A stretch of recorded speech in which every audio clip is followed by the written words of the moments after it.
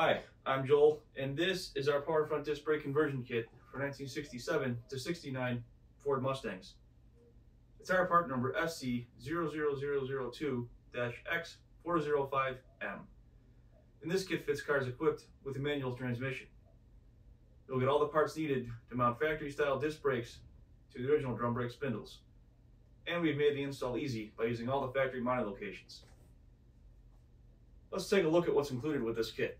You'll get the install instructions, along with a 1-inch bore dual bowl master cylinder and an 8-inch dual diaphragm power booster, and all the hardware, brackets, and lines needed to complete the install.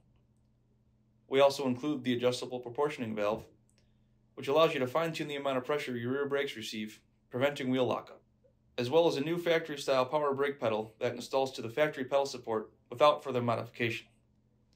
This kit uses our standard 11 inch rotors and zinc plated cast iron calipers with stainless steel pistons. We also have cross drilled and slotted rotor and red and black powder coated caliper upgrades available. You can check out this kit on our site for additional fitment and application notes.